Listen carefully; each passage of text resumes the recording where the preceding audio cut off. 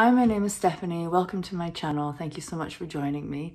Today I'm going to talk about something that's rather exciting for me. It's the Hermes limited edition fall winter 2022 lipsticks. I did pick up all three. Is that a little bit excessive? Admittedly, yes, but I did find it hard to choose amongst the three of them and I knew that I would love all three of the colors so um, I just decided to get them all. Um, so here they are. Uh, we've got Rouge Feu, which is this one, and um, Rouge Cinabre, which is this one, and Rouge Grenat, which is the one in the purple tube.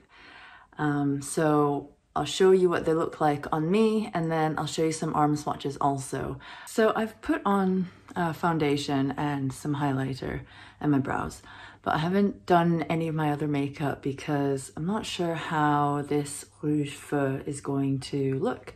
And often if I'm wearing a red lip or um, a bright lip, then I like to put the lipstick on first and then see what I need to add to the rest of my face.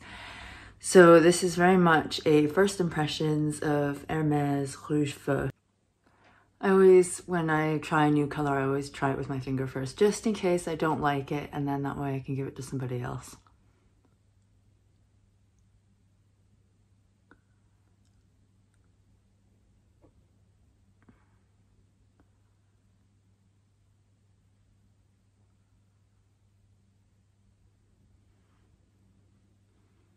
This one, actually, I think, is the most warm of the three of them.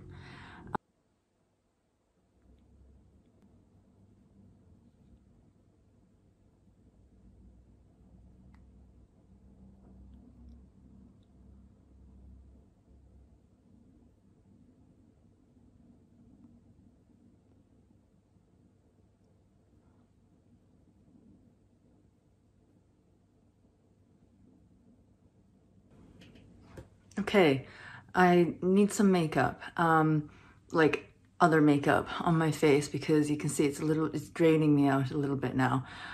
Um, this is described as a fiery, candid red, supposed to um, evoke um, the feeling or inspiration of lava erupting from the earth, um, which I think is very appropriate for this. You can see it is a fiery, warm, fiery, bright red, which um, normally would actually be more of a summer color. But I have seen that the fall winter this year, the true reds like this are in rather than the burgundy ones.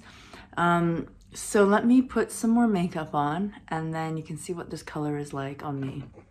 So I've gone ahead to complete the look. I've used um, the, I've used the Emily eyeshadow by Lisa Eldridge and I've used this gold shade from the Dior uh, Golden Bouquet eyeshadow. I put it on top. Um, I'm really liking that because I find that the Emily one is a little bit too cool. I can't believe I'm actually saying that. And the um, and this is just too golden. So I really like the combination together for a kind of nude, taupey, neutral um, eyeshadow, which I think goes well with a red lip.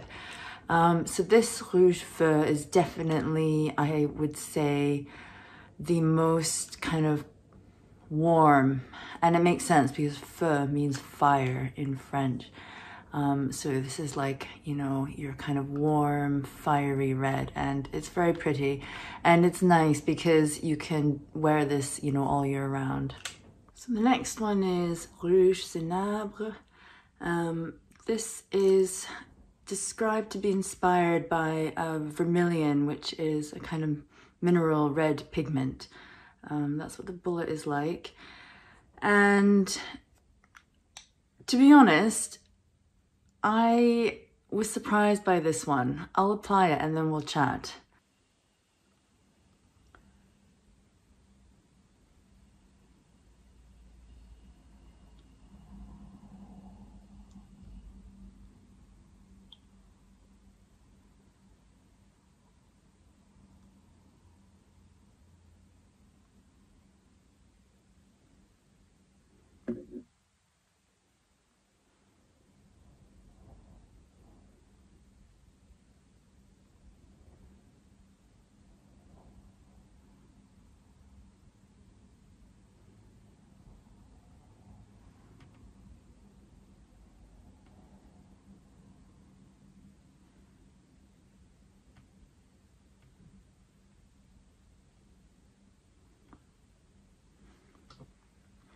Okay.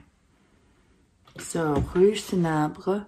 The name of it kind of, and especially with this orange blocking on the tube, um, it made me think that this was going to be sort of a earthy, um, slightly orange, maybe a little bit terracotta um, lip shade, which it kind of is, but it's actually a, cool, a lot cooler than I thought it would be and a lot less brown. It's definitely red based.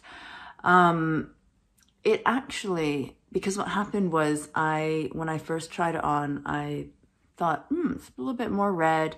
It's a bit cooler than, you know, what I maybe anticipated it to be. And then I ended up wiping my mouth for whatever reason. And I could see on the white paper, um, the color, the actual, you know, pigments, because, you know, obviously when you apply something onto your lips, your own lip color is going to change how that pigment looks. And I do think that the description vermilion is very apt for this.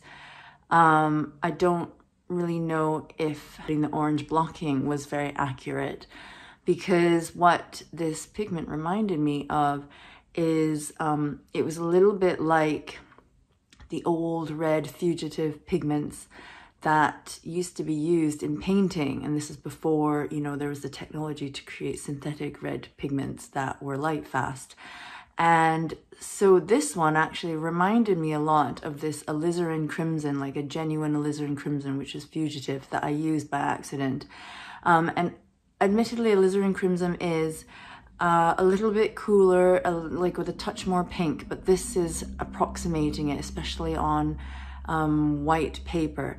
So I think that this one is actually a sleeper one. It's going to be very um, beautiful on pretty much everyone because alizarin crimson is or that plus you know vermilion lake or madder lake like those were the old pigments that were that painters used in portraits to paint lips and cheeks, especially on women. So I'm very surprised by this one, but I'm very glad I picked it up. I remember that the one I wanted the most was Rouge Grenat, which I'll show you next. But the one that I was maybe most curious about was this Rouge Cinabre. So, and you can actually see on my spatula, you can actually kind of see just that it has that vermilion um, undertone to it that it's it's not as orange as you think it would be given the name of it and the tube. So I hope you can see that. The last one is Rouge Grenat, um, which is the one in the purple tube. Uh, this is the one that I was most drawn to initially because of the purple. Um, it's described as a matte metallic finish. Again, like with Rouge Cinabre, I don't think it's the best description, metallic. Um, I'm wondering if you can kind of see that slight metallic sheen that this one has in the bullet.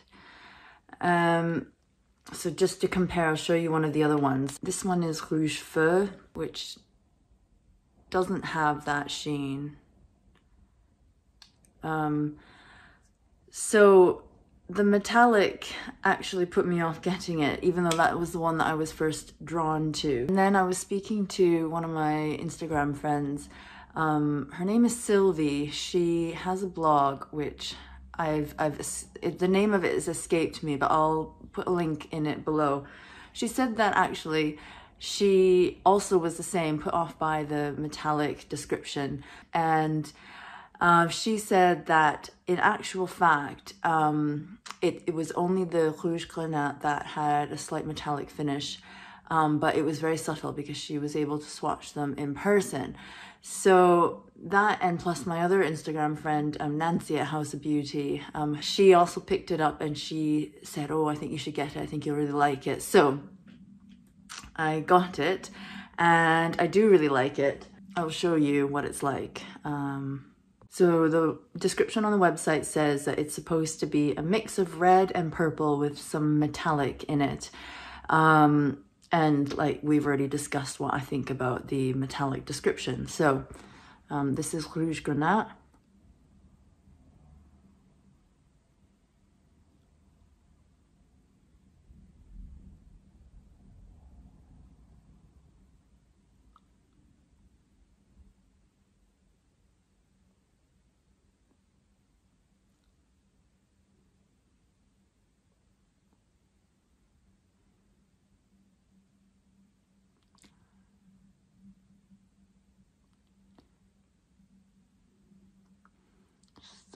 Made a little bit of a mess. Let me just get a little bit more.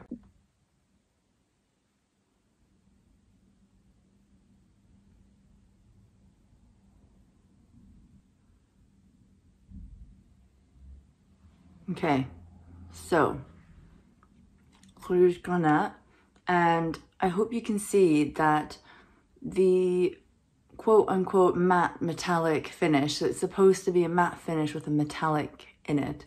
Um, what it actually does is instead of being, you know, what you think metallic would be, you know, like the frosted lip, which is what I was afraid it would be, what this does is it makes the lip color kind of a bit glowing, which I really like. Um, this sort of finish suits me. So hopefully you found this helpful. Um, I will do some arm swatches and I'll add them in. Okay, so that first one is Rouge Feu. That middle one is Rouge Cinabre. And I hope you can see that um, it really isn't that orangey. It's definitely has that uh, genuine alizarin crimson or vermilion tone to it. And this one is Rouge Grenat. Okay, so I did, um, after swatching them on my lips and swatching them on my arm, I do have to say that for whatever reason, the Rouge Grenat, the matte metallic one, um, the pigmentation is not quite as strong as the other two, which are the, from what I understand, just like the regular matte finish that they have in their regular line. Um, maybe it's because of the metallic, uh, like the addition of metallic um, pigment to it. Um, because in order to get this swatch as strong as the other two, I found I did have to go back and get um, some more of this. So just something to bear in mind.